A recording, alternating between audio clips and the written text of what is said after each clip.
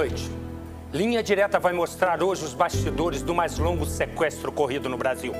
A partir de agora, você vai ver a reconstituição dos 96 dias em que o país acompanhou a luta pela libertação de Wellington Camargo, irmão dos sertanejos Zezé de Camargo e Luciano. Você vai ver entrevistas exclusivas com os sequestradores, que vão contar, passo a passo, por que Wellington foi o escolhido. As torturas, como decidiram cortar a orelha do rapaz, as tensas negociações com Zezé de Camargo. Você vai ouvir as fitas gravadas pela polícia das conversas entre os criminosos e a família de Wellington. E vai saber, dois sequestradores ainda estão foragidos. Só, só indagava por que ele, né? Por ser um deficiente e tal. A gente indagava isso, por que o Wellington? Sequestrado em Goiânia, o irmão dos cantores Zezé de Camargo e Luciano. Foram três meses de ansiedade, angústia e violência. A dramática negociação do resgate mobilizou a imprensa e a polícia de vários estados. A frieza e a truculência dos sequestradores marcaram a família de Zezé de Camargo e Luciano. O sofrimento de Wellington Camargo emocionou milhões de brasileiros. Além da dor e do terror no cativeiro, Wellington viveu um outro pesadelo: o de pensar que tinha sido abandonado pelos irmãos. Você tem que viver cada momento da sua vida como se fosse o último segundo. É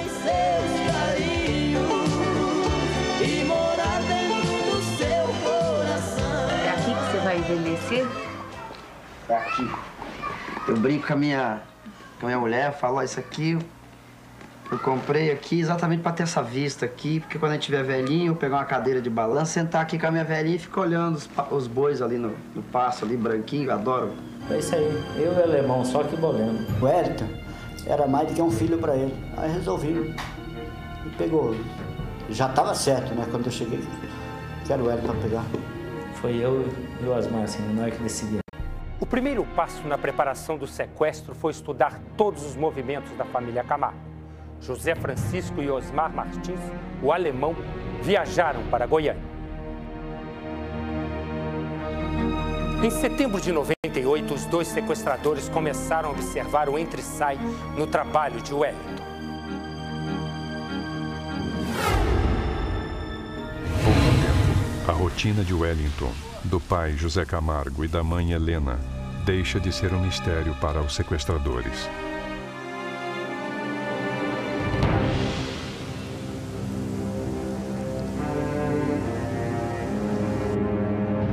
Muito tempo que ele estava andando. Ele sabe dos passos meio Madeira todinho do Elton. Longe da família Camargo, os outros integrantes da quadrilha se preparavam para o sequestro. Luiz Carlos Medeiros, um ladrão de carros, é encarregado de conceder o carro para o sequestro.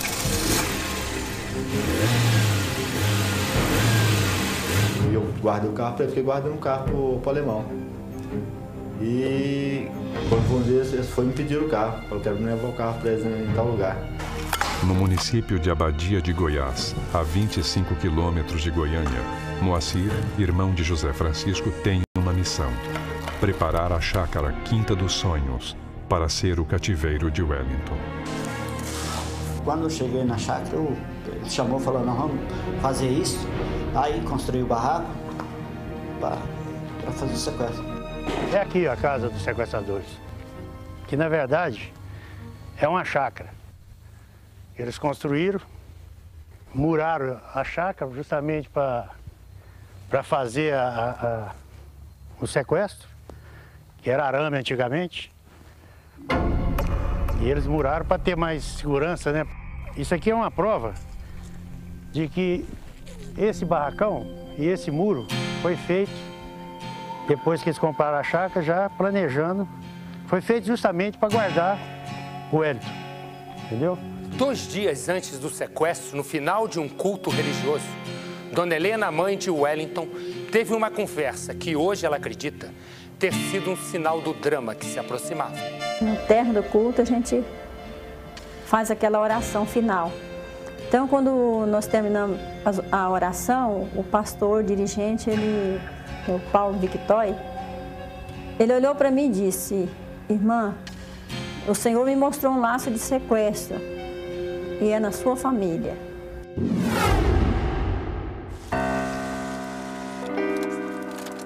16 de dezembro de 98. Depois de mais um dia de trabalho na loja de pamonhas, Wellington é deixado em casa pelo pai. A poucos metros, três dos sequestradores se preparam para entrar em ação.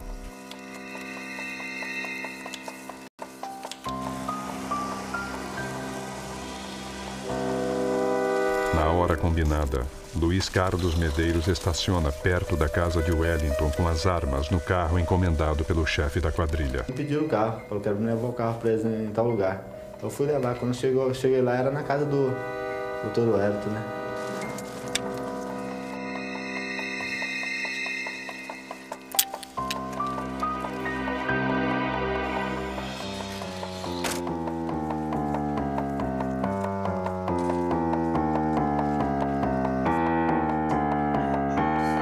Nove e quarenta e cinco da noite.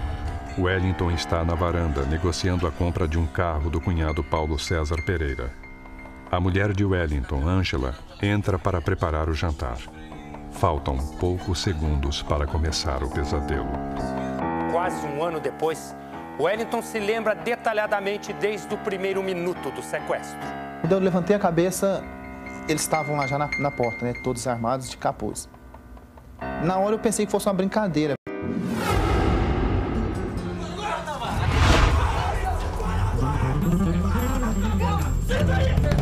José Francisco, o chefe da quadrilha, entra na casa de arma em punho, mas só encontra o filho e um sobrinho de Wellington brincando no quarto.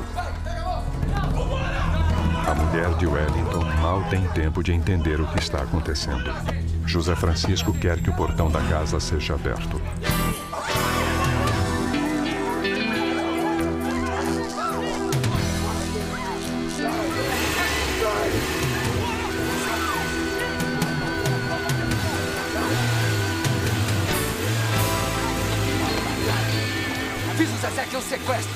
Gente quer 5 milhões de dólares. Entendeu? Tamparam minha cabeça e já saiu disparada. E daí em diante eu não, não vi mais, né? Zezé de Camargo e Luciano, uma das duplas mais vitoriosas da história da música sertaneja brasileira, vão começar a pagar o preço da fama e do sucesso.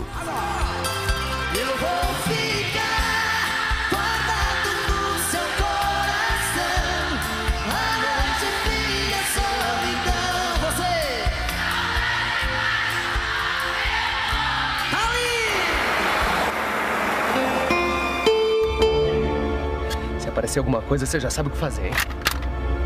É uma ação rápida e ousada. Tudo acontece exatamente como José Francisco tinha planejado. Começa o desafio para a polícia de Goiás. Não é que a polícia não é eficiente, mas é o seguinte, como nós trabalhamos, não tinha como a polícia chegar. Se a fama de Zezé de Camargo e Luciano atraiu os sequestradores para o dinheiro da dupla, esta mesma fama também deu a pista que levou a polícia a reconhecer os autores do crime. A informação decisiva para a identificação da quadrilha surgiu quando a notícia do sequestro se espalhou pelo país. Um detalhe do noticiário chamou a atenção de Antônio Lázaro Constâncio, um policial de São Paulo. O que mais chocou a polícia e a família foi a escolha dos sequestradores. Wellington é paraplégico, vive numa cadeira de rodas e precisa de cuidados especiais o tempo todo. No dia 4 de 10 de 98, eu recebi uma informação que os irmãos Oliveira, os quais eu persigo há mais de quatro anos para colocá-los na cadeia e dar mais paz à sociedade, eles iriam cometer um sequestro de uma menina paraplégica no dia 18 de dezembro. Quando foi no sequestro do Wellington? Eu liguei para o delegado do grupo antissequestro e disse a ele, foi os Oliveira. Os Oliveira formam uma quadrilha que assalta, mata, rouba e sequestra há mais de 20 anos. Desafia a polícia de seis estados. As penas de alguns dos integrantes da quadrilha dos Oliveiras variam de 200 a 400 anos de prisão. Três dos nove irmãos já foram mortos. E o líder do grupo, Manuel de Oliveira, estava preso na época do sequestro de Wellington Camargo. Segundo a polícia de São Paulo, contando esposas, cunhados, primos e sobrinhos, o bando dos Oliveira tem 27 integrantes. Veja agora quem é e o que fez cada um dos sequestradores de Wellington. José Francisco de Oliveira, chefe do bando e cérebro do sequestro, acusado de assassinatos, assaltos a banco, sequestros e extorsão. Ele decidiu sobre o resgate e planejou a fuga. Moacir Francisco de Oliveira, irmão de José Francisco, acusado de assaltos a bancos e carros fortes, extorsão e assassinatos. Escalado para vigiar o Wellington 24 horas por dia no cativeiro. Osmar Martins, o alemão, ex-marido de uma das irmãs Oliveira, violento, também foi encarregado de vigiar o Wellington no cativeiro. Era o motorista da quadrilha. Luiz Carlos de Medeiros. Ele é acusado de assalto a bancos e assassinato. Conseguiu as armas e o carro do sequestro. Outro que vigiou Wellington no cativeiro. Os Oliveira se juntaram para praticar um crime. Os Camargos se uniram para enfrentar juntos o drama que duraria 96 dias. A primeira notícia que eu tive foi da minha irmã, a Marlene. Ela ligou em casa desesperada, ela presenciou praticamente um sequestro. Eu nunca pensei que isso pudesse acontecer. Porque a gente vê assim, falar com as outras pessoas, mas a gente- nunca pensa, né? que Isso vem acontecer com a gente. Quando eu cheguei lá que achei aquela casa daquele jeito, e a família dele chorando, aquilo aí foi um... Aí eu entrei em, em desespero também, sabe?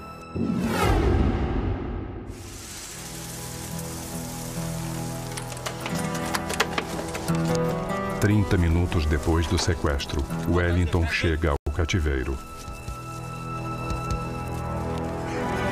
Ele é retirado do carro. No caminho até a casa, percebe que há folhagens no chão.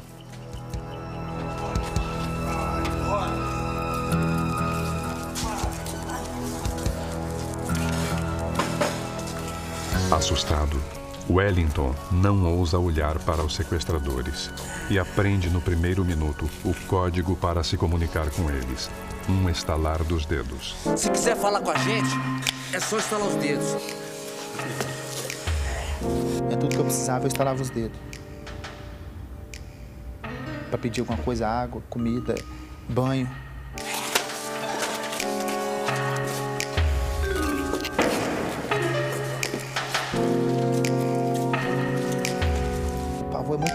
Explicar o que que passa. Só quem já passou sabe o que que é. É uma dor muito grande, você pensa, Jesus, o que que tá me acontecendo? Eu eu eu não entendo isso. Por que que tá me acontecendo isso? Tá me acontecendo? Eu pensava que era um sonho. Eu falava, não, isso é um sonho. Eu, eu, cheguei, eu cheguei a ponto de achar que eu tava ficando louco. Eu cheguei a ponto de pensar assim, meu Deus, eu tô ficando louco. Isso não tá me acontecendo. Mas todo dia eu dormia, acordava, dormia, acordava e ainda tava ali, então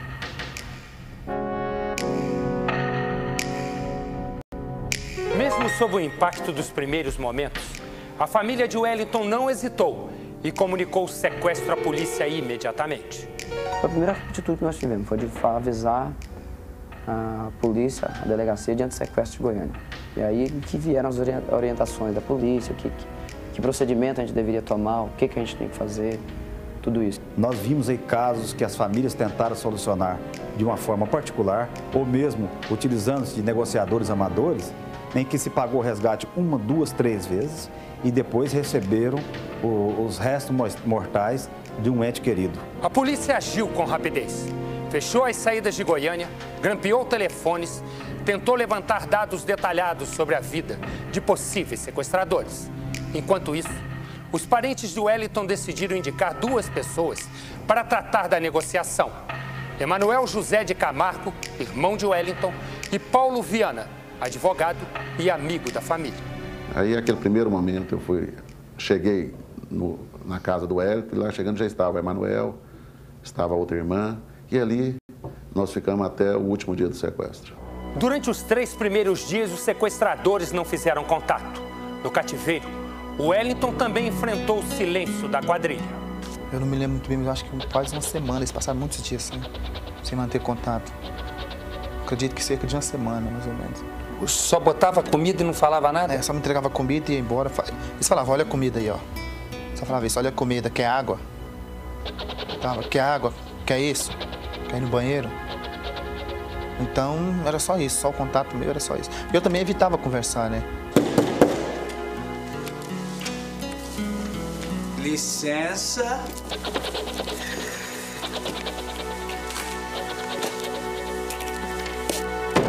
Quando é que você teve a primeira conversa com eles?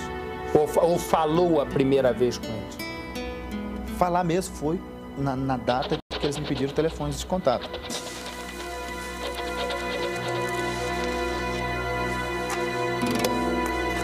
Escreve aí o telefone do Zezé de Camargo. Quem pode resolver isso é meu outro irmão, Emanuel. Então escreve o dele também.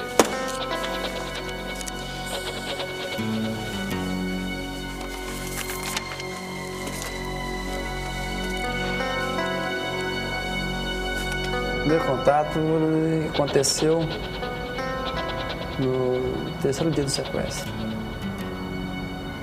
Foi feito através do meu telefone celular. Mas não ficou bem claro, ficou uma coisa muito duvidosa porque foi muito rápido.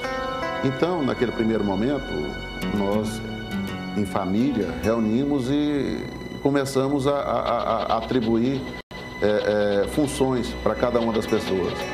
Então ficou acertado que o negociador seria eu. Desde o início, primeiro telefonema até o último, sempre foram feitos pelo Ademir. Entrou em cena mais um integrante da família Oliveira. Ademir Francisco de Oliveira, condenado por assalto, extorsão e assassinato. Ele é conhecido no mundo do crime por ter quebrado o braço de propósito na prisão, para ser levado para um hospital e ali acabar resgatado pelos irmãos. A missão de Ademir no sequestro de Wellington foi negociar o pagamento do resgate. Ele, ao falar com a família Camargo, usava um apelido, Romário. Para confundir a polícia, as ligações telefônicas de Romário eram feitas de nove cidades diferentes. Acho que o plano de sequestro é só esse. Então não é um planejamento, é uma coisa que a gente já tem é na experiência da vida. O Ademir é, é inteligente, ele manipulava os seus irmãos, toda a quadrilha, e de longe ele comandava esse sequestro, que foi um sequestro muito complexo. Uma negociação difícil e dolorosa. A família Camargo sabia que no cativeiro, o Wellington sofria ainda mais por ser um deficiente físico. Tinha cadeira lá de roda? Nesses 96 dias? Nos primeiros dias, eles, eles me levavam um banheiro no braço. Mas aí, no, de- no decorrer do tempo, eu, tive que, eu tinha que ir me arrastando até o banheiro.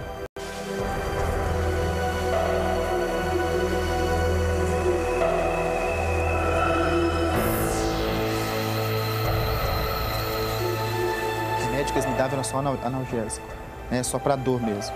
Eles me davam outro tipo de remédio. Era só analgésico mesmo. Dor. Porque eu deitava, muito, ficava muito tempo deitado, então o corpo doía. Eu tenho um problema de escoliose na coluna. Então a dor era muito grande.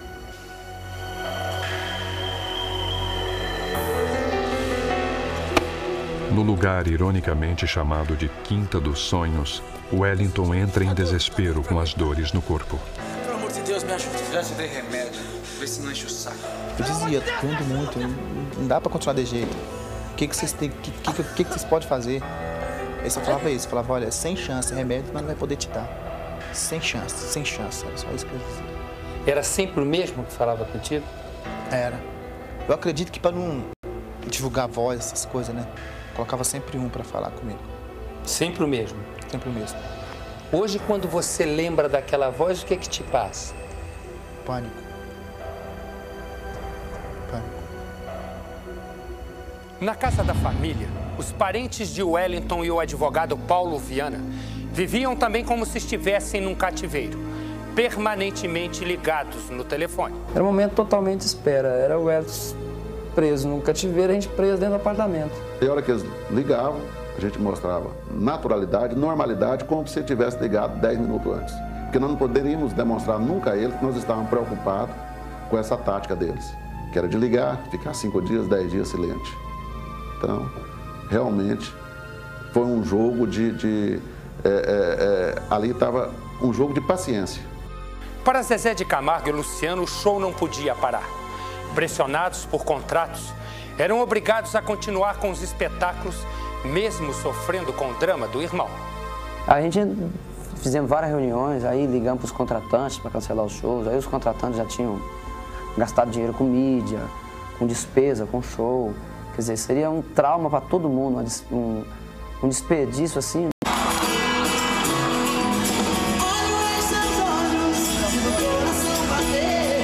E aí a gente viu que não adiantava nada também ficar parado do lado do telefone aguardando notícias do nosso irmão, aquela coisa toda. Aí a gente resolveu fazer os shows, assumir os compromissos. A gente fez, mas assim, terminava o show, a gente pegava o avião, ia para Goiânia, aí ficava lá em Goiânia.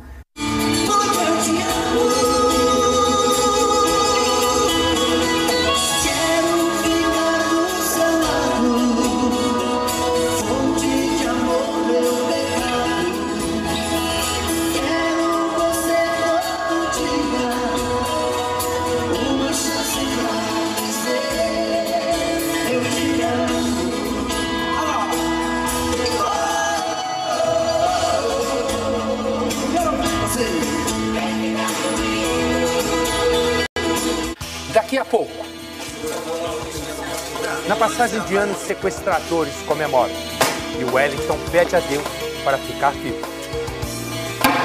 Eu pedi para que eles não fizessem isso. Aí ele me disse, que não faz isso o quê, rapaz? Morreu um dedo pra mandar pra família.